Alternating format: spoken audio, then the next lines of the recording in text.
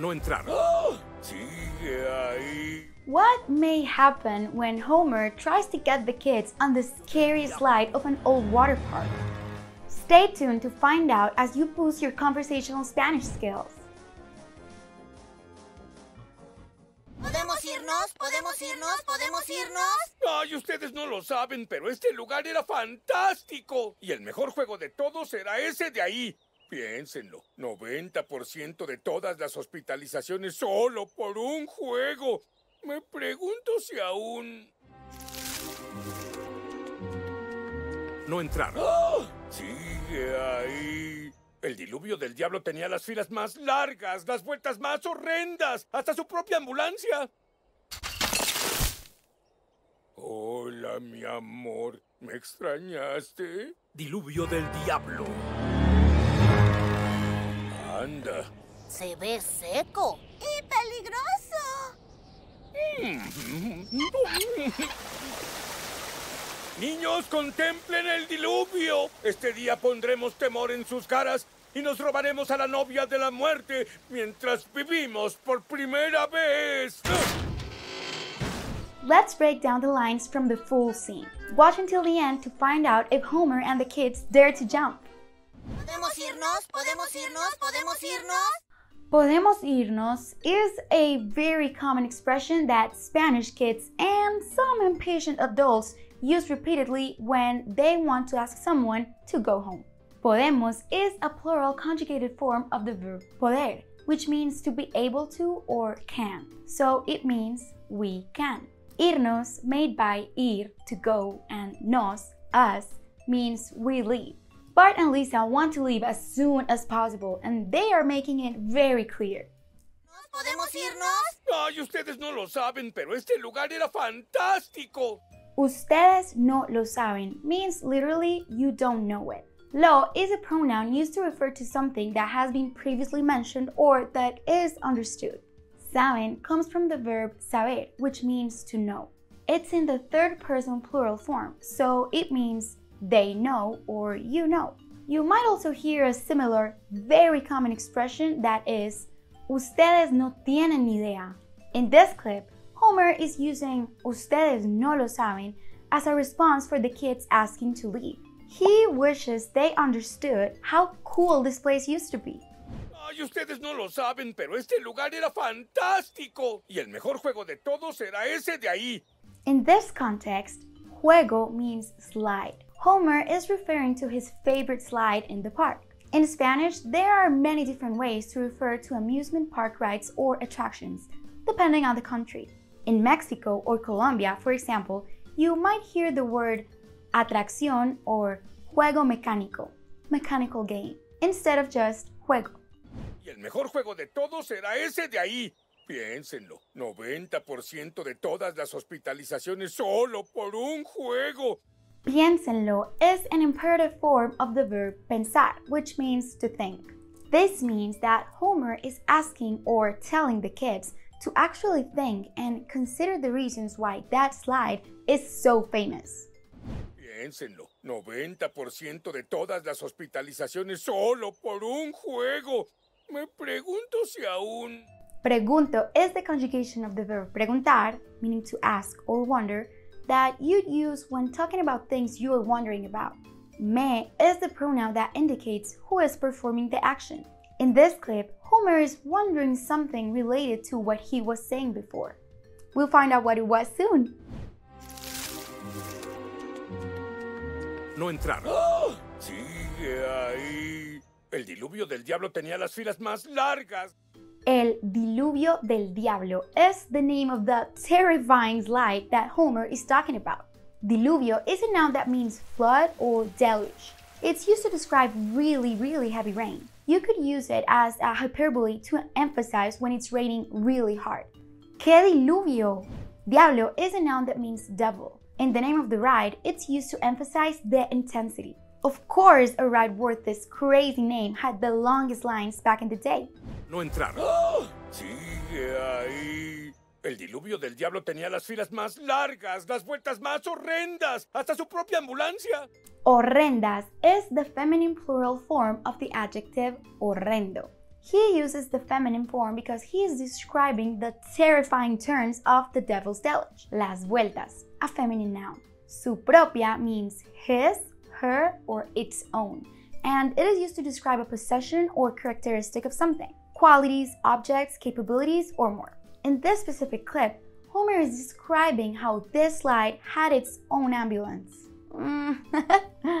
Beginner learners are sometimes more familiar with the expression de ella or de él when talking about someone else's possessions. But if you watch Spanish videos made for native speakers, you'll realize su propia or su propio is much more common and sounds very natural. But of course, if you're watching a video on Netflix or YouTube and hear a phrase like this for the very first time, it can be tricky to learn how to incorporate it in your vocab especially because unreliable subtitles are usually more confusing than helpful.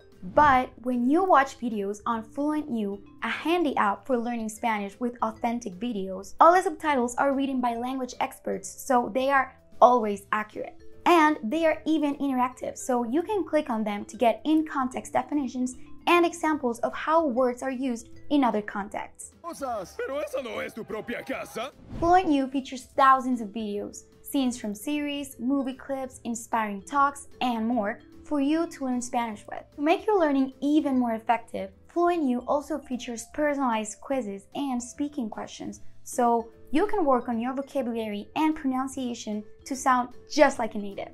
If you want to become fluent, you can click on the description below this video and get a two free week trial. Plus, FluentU is currently on sale, so this is the best time to start.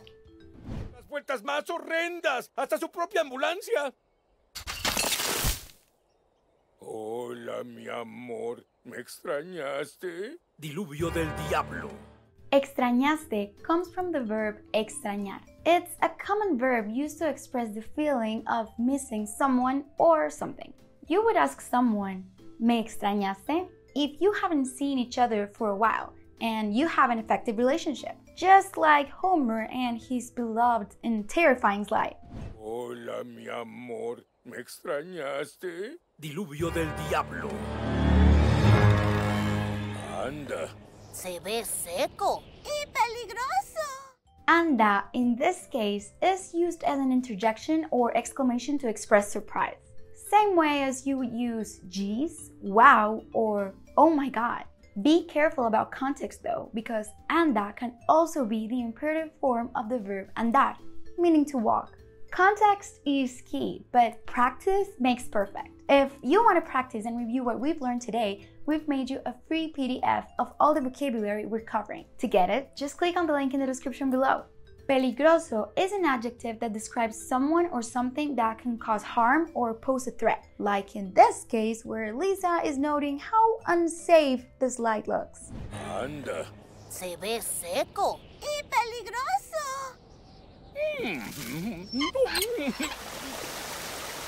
Niños, contemplen el diluvio. The word contemplen is a plural imperative form of the verb contemplar, which means to behold, to observe attentively. Homer is telling the kids to take in everything that the devil's deluge is. He is really fond of this slide. Niños, contemplen el diluvio. Este día pondremos temor en sus caras y nos robaremos a la novia de la muerte mientras vivimos por primera vez. Pondremos is the future tense of the verb poner, which means to put. This is the conjugation you use when you and someone else will put something somewhere. In this case, Homer is saying that he and the kids will put terror in people's faces as they are about to do something terrifying. Pondremos terror en sus caras is a way to say that they are going to do something scary that will make everyone who watches feel fear. I think Homer is kind of trying to talk like a parrot with this expression. Este día pondremos temor en sus caras y nos robaremos a la novia de la muerte mientras vivimos por primera vez. Ahora es la única forma de bajar. The word forma can mean way, like in the context of our scene, but in other situations, it can also mean form, manner, or shape. Let's see some examples. Me gusta la forma como me miras, or estoy pintando la forma humana. Homer is pointing out how now the only way to get down from the slide is actually riding it. Exciting! Ahora es la única forma de bajar. ¡Zarigüeyas!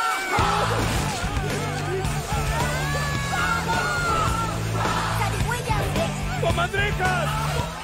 Zarigüeyas are the small furry marsupials that are native to the Americas. Actually, as a fun fact, the word zarigüeya comes from the indigenous South American language, Quechua. The word comadrejas refers to a family of small carnivorous mammals that are commonly known as weasels. In some countries, though, we also use the word comadreja to describe someone who is sneaky, sly, or untrustworthy. For example, you might say, Ese político es una comadreja. ¡Comadrejas!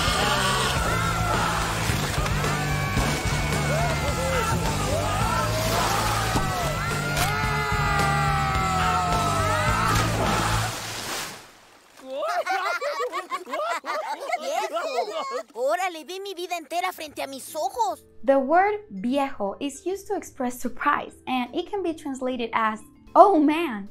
It is often used in a friendly or humorous way to show amazement. However, the word viejo can also mean old in Spanish, and it can be used to describe people, objects, or concepts that have been around for a long time. For example, you could say, Ese edificio es muy viejo.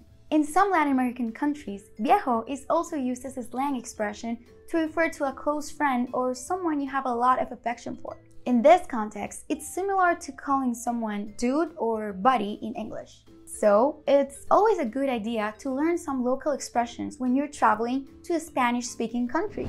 If you want to keep learning some more native Spanish, make sure to subscribe to our channel so you don't miss any of our upcoming videos, like Learn Spanish with Harry Potter. Órale is an informal expression commonly used in Mexico and other Latin American countries. It's an interjection that conveys surprise. If you visit a Latin American country and strike up conversation with a local, you might hear someone say, Órale, hablas muy bien español. ¡Órale! Vi mi vida entera frente a mis ojos. He tenido una vida increíble. The expression he tenido is the conjugation of the verb tener, to have. He tenido is the way in which you say you have had something. The verb tener is very common in Spanish and it is used to express possession. In the present perfect tense, it is used to talk about actions or experiences that started in the past and are still relevant in the present. For example, he tenido un buen profesor. ¿Podemos irnos? ¿Podemos irnos? ¿Podemos irnos? Ay, ustedes no lo saben, pero este lugar era fantástico. Y el mejor juego de todos era ese de ahí. Piénsenlo, 90% de todas las hospitalizaciones solo por un juego. Me pregunto si aún... No entraron. ¡Ah! Sigue ahí. El diluvio del diablo tenía las filas más largas, las vueltas más horrendas, hasta su propia ambulancia. Hola, mi amor. ¿Me extrañaste? Diluvio del diablo. Anda. Se ve seco. ¡Y peligroso! Niños, contemplen el diluvio. Este día pondremos temor en sus caras y nos robaremos a la novia de la muerte mientras vivimos por primera vez. Ahora es la única forma de bajar.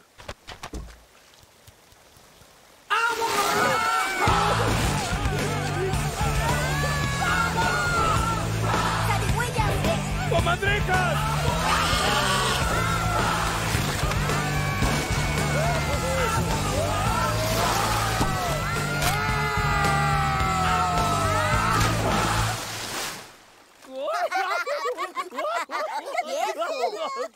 Mi vida entera frente a mis ojos. He tenido una vida increíble.